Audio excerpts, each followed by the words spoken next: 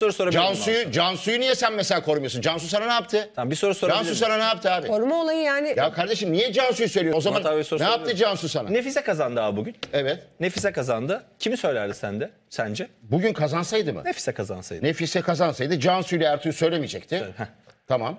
Ertesi gün de kazandırdı Nefise'yi. İkinci günde de kazandı Nefise. Yine Cansu ve Ertuğ söyler miydi? Bence Özgür'ü söylemesi lazım. Üçüncü günde kazandır. Yine Özgür'ü Heh, söyleyecek. bak şimdi şöyle şuraya geliyorsun. Yani o zaman şuradan bak. Nefise de bu sefer Cansu'yu koruyor değil mi? Sen şimdi burada eleştiriyor musun Nefise niye Cansu'yu koruyor diye? Kardeşim Cansu'yu niye koruyorsun diyor musun Nefise'ye? O da birini koruyor. Aynı hikaye. Herkes birini koruyabilir diyorum. Yani Nefise nasıl ki Cansu'yu yazmayacaksa ki en doğal hakkı, Özgür'ün de Osmancan'ın yazmaması en doğal hakkıdır diyorum. Yani baktığın zaman her Nefise şey ama aynı. beyan etmiyor. Nefise'nin öyle bir beyanı yok. Beyan etmesine gerek Öz- yok. abi. Özgür resmen Evet, beyan ediyor. Ama beyan etmesine gerek yok yani. Nefise bu saatten sonra Cansu'yu söylemeyecektir yani. Son ikiye bile kalsa söylemeyecektir. Öyle bir durumda yani neredeyse. O zaman en bunlar- doğal hakkıdır da yani. Tamam da ben de diyorum ki kardeşim çıkın abi. Çıkın artık. Neyse Nefise mi, Cansu mu, Ertuğ mu? Kazanın kardeşim Özgür'ü söyleyin. Ben de şu anda onu düşünüyorum yani. Kazansınlar Özgür'ü söylesinler. Ha yani başka da şansları kalmadı şu anda. Çünkü Özgür her kazandığında şimdi mesela yarın yine Özgür kazansa kimi söyleyecek bu sefer? Ya Nefise'yi ya Ertuğ söyleyecek. ya da Muhtemelen Yusuf ikisi de kazanırsa da Özgür her kazandığında bu üçlüyü potaya sokacak. Yusuf Bunlarda da. da eğer gurur varsa Özgür'ü de bir şekilde alt etmek istiyorlarsa çıkacaklar kazanacaklar. Başka çareleri kalmadı. Onu demek istiyorum ben yani. Çıksınlar kazansınlar artık kardeşim. Şimdi bana sorarsanız Nefise ile Özgür arasında çok ciddi bir fark var. İkisi de bu Survivor'a performans anlamında damga vurmuş iki yarışmacı. Özgür burasıyla hareket ediyor. Nefise burasıyla hareket ediyor. Nefise'nin eline geçtiğimiz hafta Survivor tarihi boyunca bir daha geçirmesi zor bir fırsat geçti. Kazandı dokunulmazlığı ve ondan bir önceki hafta Özgür Nefise'nin ismini söyleyip potaya koymuştu. Evet. Nefise Özgür'ü söylese hangi birimiz çıkıp da sen nasıl Özgür'ü söylersin diyebilirdik? Kimse demez. Helal, Diyemez, helal değil mi? olsun derdim. Hiç kimse diyemez. Hiç kimse diyemezdi. Nefise gitti. Cansu ile Ertuğ'un olduğu potaya Asena'yı bıraktı. Bak şimdi. Neden Nefise burasıyla hareket ediyor diyorum? Çünkü Asena'ya karşı duygusal olarak negatif şeyler besliyor. Halbuki kafasıyla düşünse derdi ki Survivor'daki en önemli rakibime böyle bir potaya bir daha çok zor sokarım derdi ve Cansu ile Ertuğ'un olduğu potaya Özgür'ü bırakırdı. Ama yanlışsam Nefise ilk kazanandı. tamam. Haftanın ilk kazanandı. Daha Cansu İlk ile Ertuğ kazanırken yoktu yani. Aday, tamam hayır. aday değildi yani. Şöyle z- mevzu Yani şu. ilk- ilk hayır, adayı me- belirliyordu. Tamam ama mevzu şu. Şimdi geleceğim onun açılımını yapacağım çünkü. Neden diyorum bunu? Survivor'da şu anda iki tane grup var. Bir tanesi Nefise Cansu Ertuğ, bir tanesi Os, Özgür Yusuf Osmancan. Ben bu grupları nasıl adlandırıyorum biliyor musunuz? SMS'i belli olmayanlar grubu ile SMS'i güçlü olanlar grubunun savaşıdır bu mücadele. Güzel bir anlayış. Ayan beyan bu oynanıyor şu an Survivor'da. Üç arkadaşımızın SMS'i belli mi? Özgür'ün, Yusuf'un, Osmancan'ın değil. Nefise Cansu Ertuğ'un SMS'i belli mi? Gayet belli.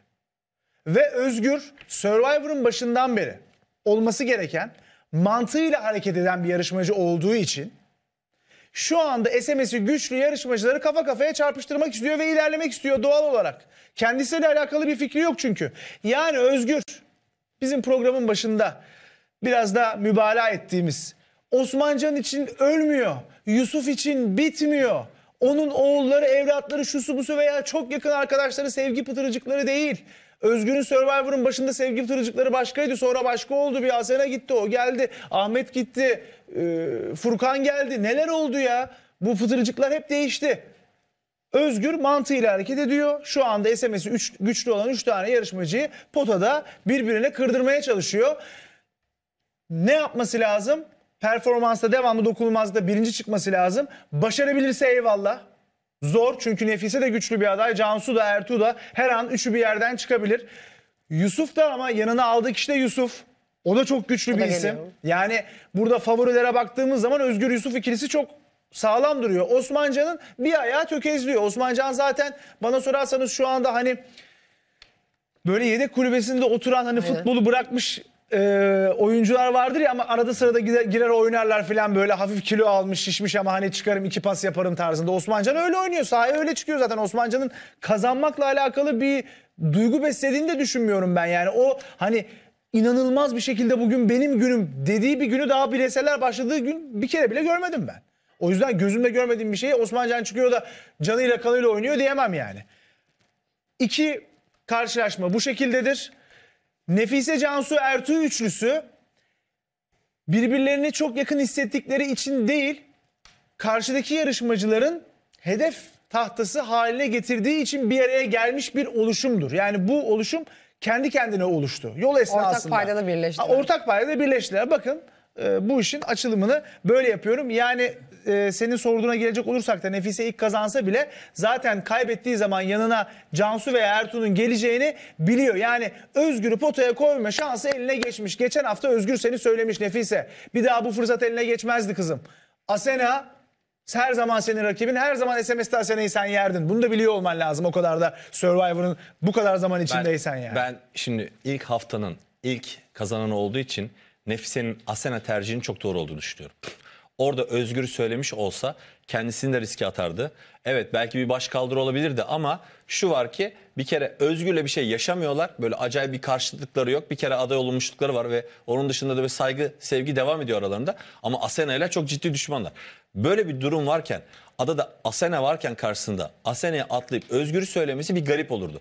Ondan sonra karşı taraftan de garip olsun? kendisini Ben insan gibi düşünüyorum. Ben izleyici olarak- kendi Garip tarafından? Hayır, aday garip- da garibi olabilirdi. anlayamadım. Garibi anlayamadım. Bence hiç garip değil. Benim Özgür onu beklentim- söylemiş. İlk, ilk aday belirlemede, ilk aday belirlemede şunu unutmayacaksın. Yarın o potaya sen de girebilirsin. Yani sen ilk başta tamam burayla hareket ediyor diyorsun Nefise ama onun da burası var sonuçta. O da diyor ki yarın bir gün ben de bu potaya girersem en azından eleyebileceğim birini koyacağım oraya. As, yani Nefise'nin bence eleyebileceği isim Asena'ydı. Ve onu düşünerek de oraya koydu. Tamam, peki biz- biz bu değerlendirmeyi- Ama şu var Nefise'nin ilerleyen günlerdeki iki dokunmazlıktan birinin de kazanması dahilinde Özgür'ü koyabilirdi. Özgür Asena'yı da birbirine çarptırabilirlerdi. Özgür'ü koyması da garip olmazdı. Onu bekledi zaten. Yani ben Asena tercihini çok doğru buluyorum Nefise'nin orada. Ve şöyle bir durum var. Biz Nefise'nin Özgür demesini neden garip karşılıyoruz? Onu anlayamadım. Hayır Çünkü hayır. Özgür demesini garip İlk karşılamıyorum. hafta, Asena demesini ilk hafta seçimi olduğu için Nefise'nin de bunu aklıyla ve mantığıyla doğru bir seçim yaptığını düşünüyorum. Özgür demesi garip değil. Şöyle Asena söyleyeyim. demesi garip değil Asena, diyor. Asena dememesi garip olurdu. Çünkü Asena'yla çok acayip şeyler yaşıyorlar ve Asena eleyebileceği bir isim. İşte- ve dolayısıyla ilk seçim yaparken de eleyebileceğin ismi ben düşünmesi öyle çok düşünmüyorum. Çünkü şöyle. Eğer bakın şimdi şampiyonluğa giden yolda eğer rüzgarı arkanda hissediyorsan bazı durumlarda da kılıçlarını çekmezsen şampiyonluğa yürüyemezsin.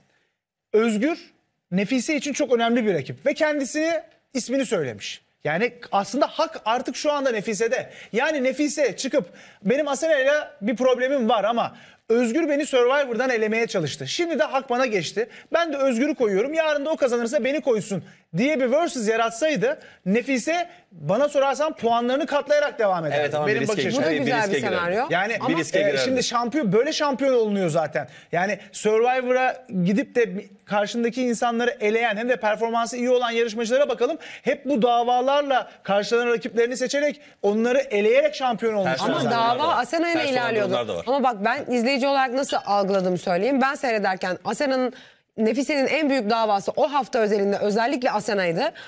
Ben onun kaldığı yerde durmak istemiyorum. Sen benim kaldığım yerde durmak istemiyorsun. Ben mi seni elerim, Ama sen biz- mi beni elerim. Davası da benim için bir dava. Şampiyonluk adayı olmayabilir Asena ama yani dediğin özgür Şampiyonluk yolunda senaryosu. o benim için bir dava Bir de- değil ki. bir de Şampiyonluk Benim için yolunda dava şeyler mesela yapacağım. izlerken o Şampiyonluk Nefise... yolunda benim için önemli değil yani. Ama benim için şa- senin şampiyonluk hikayesinde Özgür daha mantıklı. mesela evet ama şöyle bir şey ben düşünelim. de bu hikayelerde E, Özgür kalple- tarafından bakalım.